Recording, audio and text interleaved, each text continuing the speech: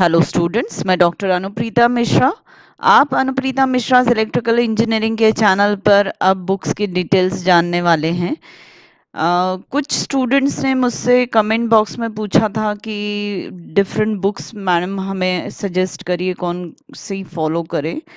तो सबसे पहले तो एक बच्चे ने मुझे आरआरबी के लिए सी बी टी वन और सी बी टी टू के लिए बुक्स पूछी थी। तो जो वो है जीके पब्लिकेशन या यूथ कंपटीशन टाइम्स की C B T zero one के लिए और C B T zero two के लिए जी के पब्लिकेशन जो है वो ठीक रहेगी।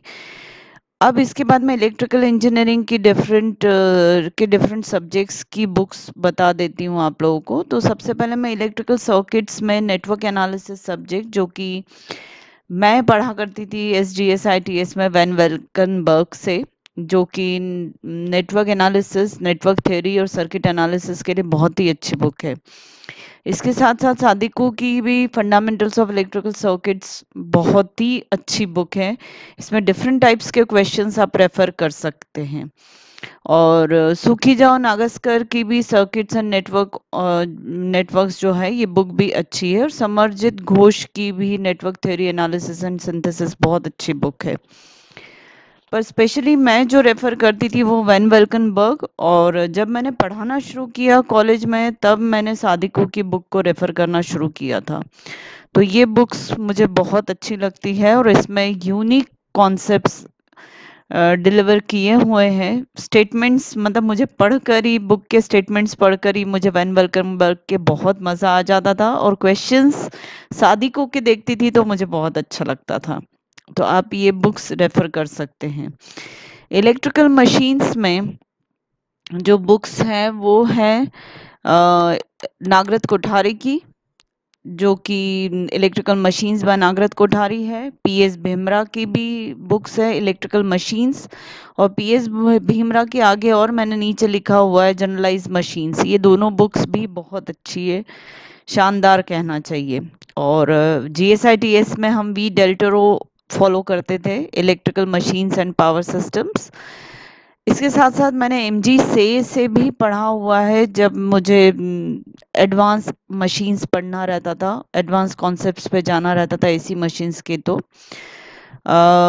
अशफाक हुसैन मैंने फॉलो की पढ़ाते टाइम जब मैं कॉलेजेस में पढ़ाना शुरू की तो मैंने अशफाक हुसैन को फॉलो किया। इसी तरीके से सईद नसर की जो electrical machines and power systems है उसमें भी कॉन्सेप्ट्स अच्छे दिए हुए हैं। ए फिट्जराल्ड और सी किंग्सले की भी इलेक्ट्रिकल मशीनरी वाली बुक मुझे बहुत अच्छी लगती थी। कुछ स्पेशल कॉन्सेप्ट्स में मैं रेफ़र कर लेती हूँ इन्हें। ऐसे ही पावर सिस्टम की जो बुक्स हैं, वो एक स्टीवेंसन जो मेरी फेवरेट थी पावर सिस्टम एनालिसिस की, उसे फॉलो करती थी और नॉर्मल पावर सिस्टम एनालिसिस पढ़ना है तो C L Wadhwa power system की एक अशफाक हुसैन की भी बुक है, वो भी आप नॉर्मल बेसिक पावर सिस्टम समझना हो तो आप अशफाक हुसैन से और नागरत कोठारी से समझ सकते हैं, जिसमें पावर सिस्टम इंजीनियरिंग के बारे में बताया हुआ है। और बेटा पावर सिस्टम जो है वो power system one power system two power system analysis और हम फॉल्ट्स एंड प्रोटेक्शन कई तरीके से पावर सिस्टम को पढ़ते हैं बेटा। पावर सिस्टम के अलग अलग फेसेट्स को समझते हैं। तो इसकी बहुत सारी बुक्स है। जब मैं पावर सिस्टम डिटेल में पढ़ाऊँगी तब मैं और बताऊँगी, पर मेनली इन्हीं बुक्स को मैं रेफ़र करती थी। ऐसी कंट्रोल सिस्टम की जो बुक्स थी वो जो रेफ़र करती थी मैं वो ओगाटा करती थी, जो सेकेंड नंबर पर लिखा हुआ है मॉडर्न कंट्रोल इंजीनियरिंग पर एम गोपाल की कंट्रोल सिस्टम इंजीनियरिंग और बी एस वानके की कंट्रोल सिस्टम इंजीनियरिंग और साथ में ऑटोमेटिक कंट्रोल सिस्टम को और फैरिद की जो थी वो भी मैं फॉलो कर लेती थी बेटा। तो मुझे ये बुक्स अच्छी लगी। पर कंट्रोल सिस्टम मैंने कभी पढ़ाया नहीं बेटा। सिर्फ़ मैंने पढ़ा है।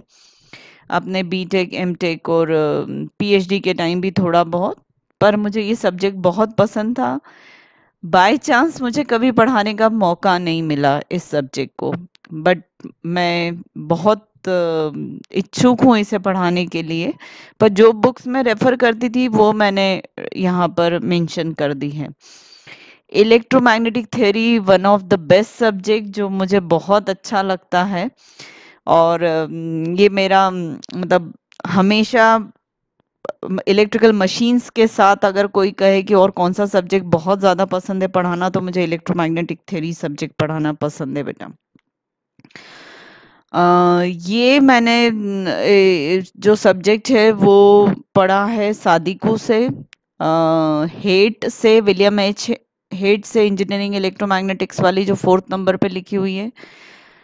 राव की भी book elements of engineering electromagnetic ये बहुत अच्छी बुक है। शॉर्ट में बहुत अच्छा दिया हुआ है। मैंने पढ़ाते टाइम इसको रेफर किया है। पीवी गुप्ता को भी मैंने पढ़ाते टाइम रेफर किया और पीवी गुप्ता मुझे बेसिक के साथ प्रॉब्लम सॉल्विंग में मुझे बहुत अच्छी लगी। जीएसआईटीएस में रहते हुए हमने जो बुक फॉलो की थी वो विलियम एच हेट की फॉलो की थी। डी क्रॉस की की थी और जॉर्डन एंड बामन की की थी। फोर्थ, फिफ्थ और सिक्स नंबर की जो बुक्स है, ये मैंने रेफर की थी बीटेक के टाइम पे बेटा। पर पढ़ाते टाइम मैंने फॉलो की सादिकू पीवी गुप्ता और एन एन राव की। ये बुक्स बहुत अच्छी है। एक संदीप वाली की भी बुक है जो मैंने यहाँ मेंशन नहीं की है, पर वो बुक भी बहुत अच्छी है बेटा। तो आप देख सकते हैं, इन किताबों को रेफर कर सकते हैं और जैसा कि मैंने लास्ट वीडियो में बताया था, बेटा, इन बुक्स को खरीदिए। अपनी बुक बैंक क्रिएट करिए खुद की, और ये लाइफ लॉन्ग असेट्स होते हैं, बेटा। तो आज मैं इतना ही बताना चाहूँगी, बेटा किन्हीं कारणों की वजह से मैं अभी पढ़ा नहीं पा रही हूँ। टीचिंग वाले मैं अपने वीडियोस नहीं पब्लिश कर पा रही हूँ, पर within two three days या हो सका तो नेक्स्ट वीडियो मेरा इसी पर पढ़ाने के साथ मैं स्टार्ट कर दूँगी बेटा। कुछ आ, किसी पर्टिकुलर काम में फंसी हुई हूँ उस वजह से।